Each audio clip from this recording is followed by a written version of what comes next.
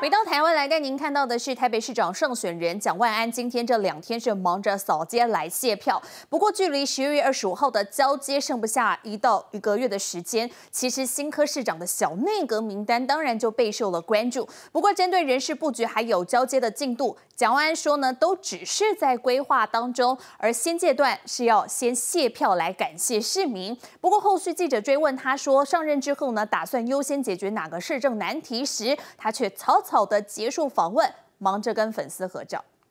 大家好，我是蒋万安，谢谢你。弯腰鞠躬，深深感谢国民党台北市长胜选人蒋万安连续两天扫街谢票，回应市民肯定。不过蒋市长准备好了吗？走，走。见到媒体笑眯眯，但准市长层级的监督准备接招。蒋氏府小内阁副市长和局处首长名单传出，公务体系建设专长欧进德、李四川，还有马好时代前副市长陈威仁、李永平、邱文祥、陈永仁各有专业，都是可能人选。我们都在积极的规划。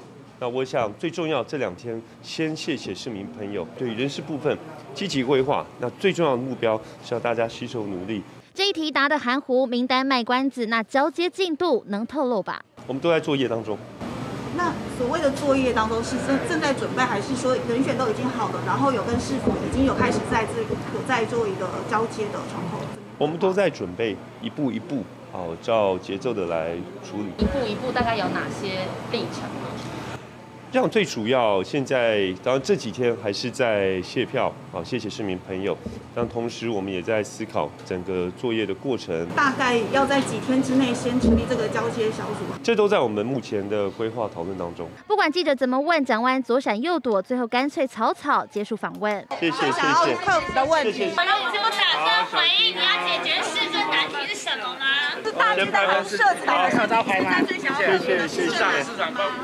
好，我我先照一下。什么时候会比较具体的跟大家谈一下市政？沿路拍照签名，蒋万安必谈市政，优先照顾粉丝。只是距离十二月二十五号交接剩下不到一个月，新科市长可得加把劲，接受监督。这一项原蓝进发 S N 小组采访报道。